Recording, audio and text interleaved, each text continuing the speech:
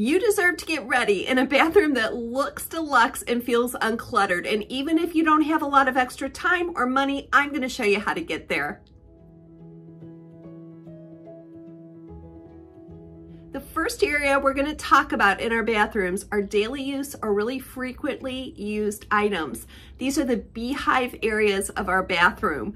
These things need to be easily accessible and they need to not take a lot of time to put away. Probably the most important small bathroom organizing hack is to really evaluate what items you use on an everyday basis. Take a few minutes and lay those out on a counter. Make sure they're the essentials that you love and go to every single day. Secondly, take stock of the area that you have. Now, my husband and I are lucky enough to have this large drawer, and after I configured it, it was enough space for us to put all those items we use every single morning. This overdoor basket is a great place to keep simple cleaning supplies. This way you can wipe up frequently and you don't have to take a lot of time to do a deep clean. If you like to store jewelry in your bathroom, try using ice cube trays, especially for smaller earrings. They're great dividers, they're inexpensive, and you can stack them one on top of the other to make the most of your space. If you like to shop at Dollar Tree, here are a few of my personal care and bathroom favorites. I love using Dollar Tree soap at a bargain price. I've never had a problem with any type of skin reaction, but please check this on your skin first. The second thing I love from Dollar Tree is this moisture eliminator. You're going to want to make sure you remove that aluminum covering and then put it under your sink or anywhere you want to keep moisture at bay. The third thing I love is their jelly spirals and shower combs. These are a fraction of the price you would pay elsewhere. And my favorite loofah is this loofah towel that you can throw in the washing machine. I also always buy my hairbrushes at Dollar Tree. You can find almost any type of hairbrush for any hair texture, and they are so much less expensive. I love the Dollar Tree toothpaste. I've talked a lot about this Colgate that you never have to worry about making a mess. And of course, toothbrushes. You can buy brand name or generic toothbrushes to keep on hand for guests. While you're at Dollar Tree, if you take daily medications, these are my favorite pill organizers. I'm going to show you a couple different ways to use them. If you don't want to use them for medications, you can soak off those days of the week decals by using some acetone nail polish remover and resting that on a little powder puff on top, and then it'll come right off. I've often used these for earrings and other small items I keep in my bathroom, and I mounted these on the inside of my medicine cabinet with Velcro strips. I'm Shannon, and this is Skip to My Life, where I love to talk about how to live an upscale lifestyle on a downsized budget. Comment below if this is your first time here and let me know how you found out about us. Now, there's been a little bit of chatter in this group about whether or not it's okay to keep medications in the bathroom. So, if you prefer to keep your daily medications in the kitchen or somewhere else, here is an organizing hack for you. Use a Dollar Tree 8x10 frame or one that you already have and glue these medicine containers with the tabs coming downward. Now you're going to have to make sure they're all laid out correctly before you glue them on or your medicines are just going to fall out. So take a little bit of time and make sure that's correct. Once you do that, this is so simple. You're just going to glue these to the glass and then hang them wherever it's easiest for you to remember to take those medications. Of course, you can also use that stand on the back if you prefer to leave them them on a table. So many of you have told me that you just have no cabinet or storage space in your bathroom. So here is a little shelf system from IKEA. It's very inexpensive and I found it in the kids section if you're an IKEA shopper. This is just very simple wood and you can paint it whatever color matches your decor. It's a great place to store frequently used daily items, perfumes, or anything else that you want to display. My goal in this episode is to inspire you and give you lots of ideas to get your bathroom finally organized. And it may be something as simple as just replacing a worn out laundry hamper or trash can. That can make all the difference. Next, let's talk about the bathroom under sink area and how to make the very most of that limited storage. And you know what? Even if you don't have an under sink cabinet, I have a great idea for storage. If you have an undersink area that looks like this one, you are not alone. This is actually my undersink, and I am telling you that if you have a messy undersink area, the best thing you can do is take absolutely everything out and see it with fresh eyes. Especially in bathroom areas, it's really important to lay down some type of water protective barrier on that surface. And then it's really nice to have a little light. Now, I show you all different kinds of under sink lights. This is one from Dollar Tree. It's a little toggle switch that works with batteries. So yes, you do have to remember to turn this on and off. It does have batteries. And Bella is here to say a few shout outs to your fur babies. Having light in this area makes such a big difference and I find that when I can see what's under there, it's much easier for me to put things back where they belong. I get a lot of feedback about using plastic containers in organizing, but for me, the bathroom is the perfect place for these kinds of containers because they're not going to get ruined by moisture and also they're not a hazard with glass. So as you can see here, I have used a two-tier system using Dollar Tree baskets as well as trays from the party section. One of you asked me this week if I had stopped making current videos, and I recommended that she make sure she subscribed and also has that bell turned on because the YouTube algorithm does not always send you my latest videos. It will only do it if you're subscribed and you have that bell on. So make sure that you do that if you want to receive the latest content from Skip to My Life. In the bottom basket, I'm keeping my overstock and things that I don't use as often. And then in those top baskets and in the bins, I am storing things that I use very frequently. For those of you who have absolutely no bathroom storage, this three-tier cart from Michaels is a great solution. You may want to try it out by clicking on the link I'm providing below, and this could be the solution for you to keep everything organized and in place in your bathroom.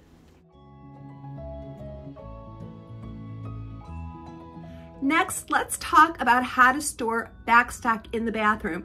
Now, backstock is just a fancy name for items that you use on an everyday basis, and if you ran out of them, you would have to make a special trip to the store. There are things like toilet tissue, cosmetics, soap, frequently used personal items. So you wanna have some of this on extra in your bathroom, and I'm gonna show you some simple ideas of how to store these things.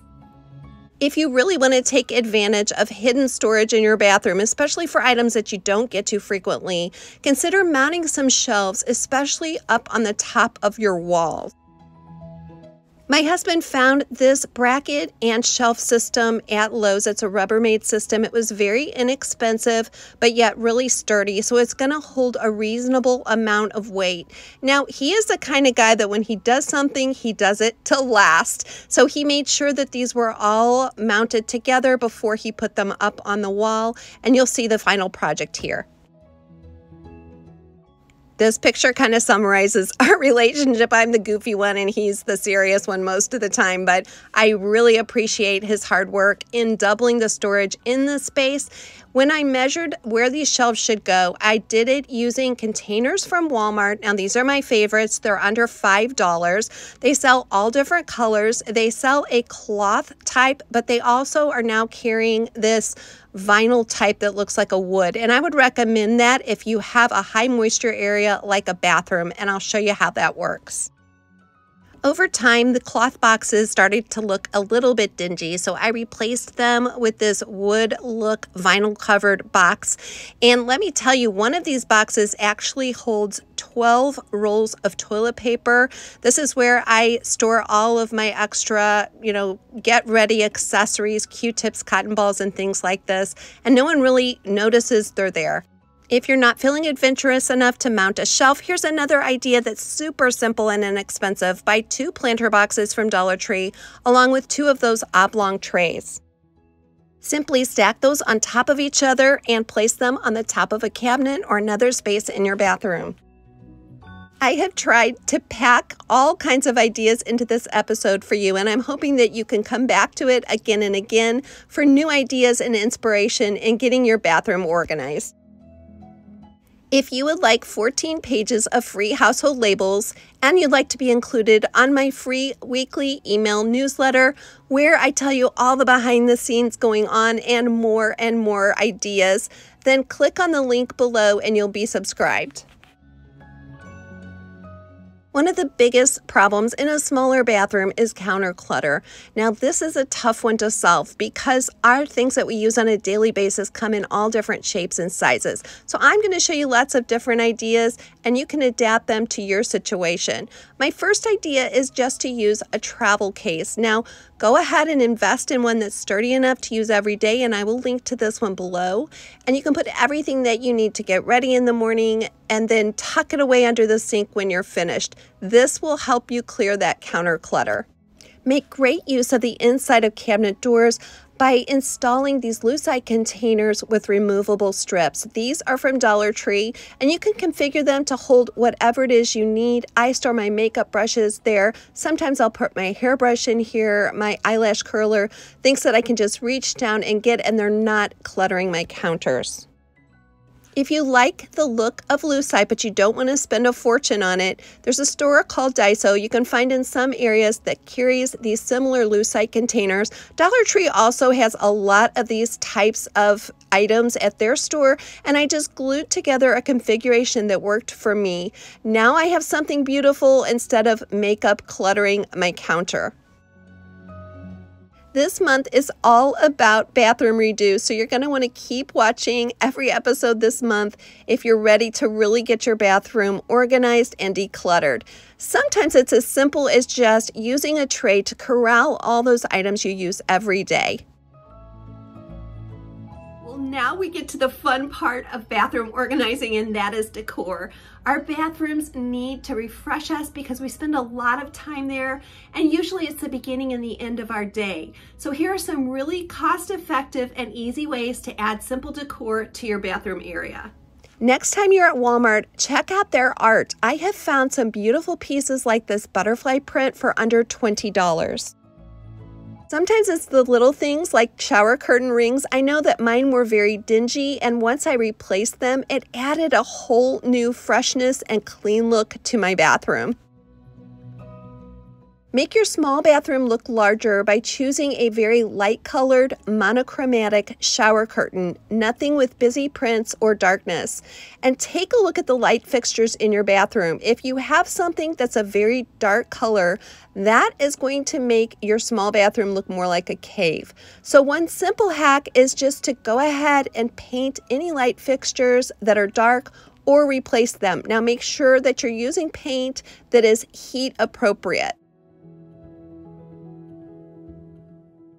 Painting over that dark light fixture not only brought light to our bathroom, but it actually made the light appear brighter as it was reflected on the lighter surface. Now, you don't have to spend a lot to create beautiful custom art for your bathroom. This was a plank that I literally found on the curb at trash day. I sanded it, I painted it the same color as that light fixture. Then I used the free design app called Canva to design the graphics and I just traced those on the board. If you have a couple stained or dinged areas on your wall or your medicine cabinet, try taping it off and painting it in a contrasting color. Even if you're renting, these small kinds of paint changes are easy to paint over when it's time to move.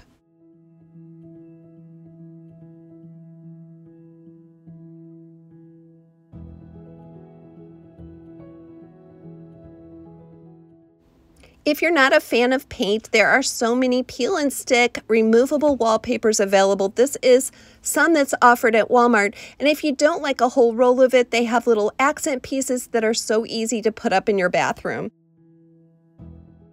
I decided I wanted a focal wall in our bathroom, so I didn't have to paint the whole space, just one wall. And I was able to create something that looked like barn planks just by making stripes and then stippling them across that wall. If you have a set of bath towels that you really love, but they've started to look a little dingy, here is a cost-saving hack for you. You'll find a huge selection of RIT dyes at Hobby Lobby. That is the spot that I found the biggest selection, and they also have different dyes for different types of fabrics. So follow the instructions on the package, and you can take your towels from looking dingy like these white ones to really beautiful, high-end, new-looking towels. Let me know which of these ideas was your very favorite. I would love to have you join us in the monthly membership group where I walk you through organization projects month by month throughout your house. And I hope that you remember, my friends, that today is not the end of your story, so please do not give up.